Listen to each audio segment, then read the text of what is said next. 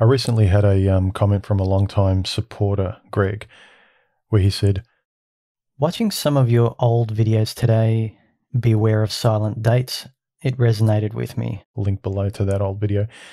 Yeah, I remember with that video when I started to become aware in my life of the other person, not just accepting them on face value, but being discerning, reading between the lines, observing them as people, how they acted, how there were incongruencies between how they portrayed themselves on the date compared to who they actually were when they were expressing themselves with words and you know relaying their experiences and things like that. All of a sudden you started to see things didn't add up.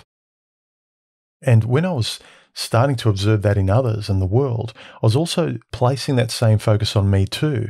When i was exercising the muscle of being discerning and being honest about what I saw in other people and how other people were treating me and how girls were presenting themselves to me, how there was a lie between what they said and who they were, who they actually were. I started to be honest with myself too. You know, I can portray myself as a certain type of guy and go on autopilot and posture all these sort of macho things and pretend to be the guy that women will accept and like and pretend to be the guy that will be accepted with other guys. But am I being honest? Is that the kind of guy I want to be around? So there was that kind of thing, you know, do I want to be around this kind of person? Are they really my kind of person? Who am I? So it was a good way of uh, knowing myself in relation to something, in relation to a person that needed to match me. Not, I need to accommodate them. I need to be everything they want, or she needs to be everything I want. Uh, I was thinking, as I'm sure you have too, what makes some men more accepting and impacted by red pill versus blue pill?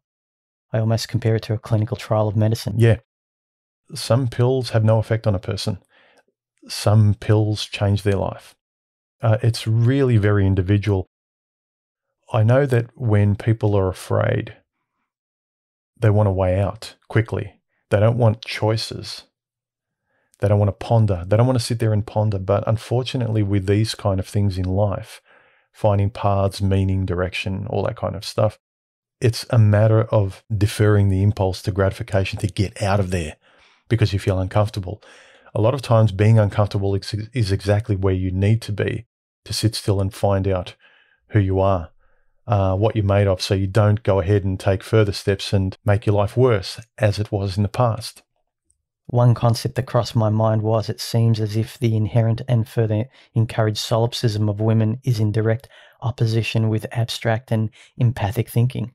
Well, yeah, sure. You condition people to be afraid, and selfishness follows because you're desperate to survive and you're fearful of everything. It's sort of, it's all about you and everyone else. You breed children.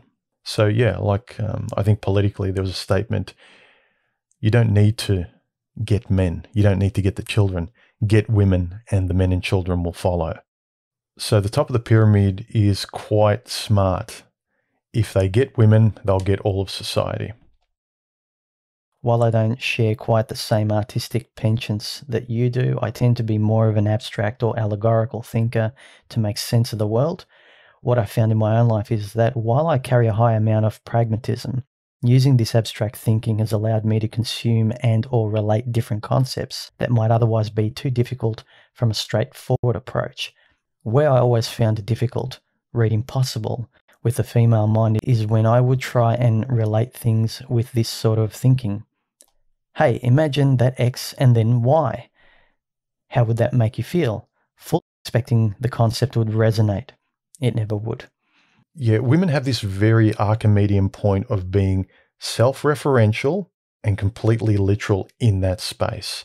You know, they, they can't sort of see how the dominoes will fall two or three moves ahead. Despite the blue pill idea that women have a monopoly on feelings, they could never quite relate with these sort of hypotheticals. Yeah, it frustrates me too. Just because women have a lot of emotions, because women emote a lot, they make it analogous with thinking and being sort of emotionally deeper and elegant. But in my experience, women don't have the creativity, the imagination, the depth of emotions that men have because we can abstractly think of emotions beyond our immediate impulses now.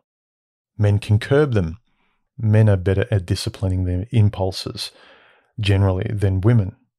I mean, it's why the diet industry is more successful with women. It's a bigger market. Whereas a man generally just gets himself to the gym. He knows what needs to be done. Women want these magic pills just thrown at them to fix them, which is why I think they, they like medicine so much. You know, you've got a sniffle, go to the doctor. Whereas a sensible man will say, like, you know, I just need to rest and drink fluids. I'll be fine. Go to the doctor. And don't forget, abstract thinking requires thinking outside yourself, not placing you as the self referential point for everything to have meaning, but for you to be the observer and say, okay, aside from me, how does this look? Or how do I relate to this other thing? Or how do these two separate things relate as I observe them? What can I learn from them? Oh, here's an idea that's come from that. Quantum physics. Women aren't interested in that. Um, it's a reason why they're not attracted to the STEM subjects. It's because it doesn't have anything to do with them. I made a saying once uh, women are not interested in mathematics because they're not part of the equation. So it brings me to a bit of a theory. Is it that red pill men have or have cultivated this sort of abstract thinking which makes the red pill actually digestible to them, whereas the blue pill man has a more mechanical, just do sort of autopilot thinking? Yeah, perhaps. If you've naturally got an intellectual curiosity, uh, I think an, an, intellectual curiosity suggests um, being open to abstract thoughts, other people's ideas, even empathy. You know, it's not just about you. Other things are interesting. Other things can inform you. It's not a solipsistic point of view like um, the female world tends to be. So if you're already intellectually curious, I think the abstract thinking and concept connections in red pill ideas can cultivate that thinking and help you understand even more. So it's a bit of one helps the other kind of thing, and it just keeps growing and growing. Hope all this makes sense. Maybe not such a quick thought. In any case, since you are not a drinker, maybe this donation will get you some Vegemite instead. All the best, Greg. No, I don't drink. Thanks, Greg. Uh, but I did buy myself something nice with it. And thanks for sharing your thoughts too. I'm sure I'm not the only one that sort of has always pondered this. You know, and sometimes it was frustrating. Like, it's so simple and clear to me. Why can't you understand this connection? Um, some people are literal. Uh, some people are just wired that way. Some people are born mathematicians. Some people find string theory attractive. Some people are musicians. Some people everyone's wired in a different way to find it easier to absorb life in certain aspects. So, trying to elucidate life to somebody via the conventional red pill ideas, it's really hard if they're not wired in a way so as to accept them. You know, it's really like pulling teeth for some people. Let me know your thoughts in the comment section below, guys, as well, relating to this observation. Do you struggle with conceptually coming to terms with information that could and should help you, but it just doesn't? What do you find works with you? Does cold hard math click for you? Or does something more personal and esoteric work like empirical experience or what have you? What gets you to that religious realization moment where things just click deeply and make complete sense and everything's in focus? And what just doesn't connect at all and just kind of goes in one ear out the other or just seems mildly interesting. And like, comment, and subscribe. Hit the bell icon, then hit the all in the drop down to be notified of all my videos. Join the discussion on Discord and donate if you're so inclined. I really appreciate the support. Thanks, guys. Talk to you later.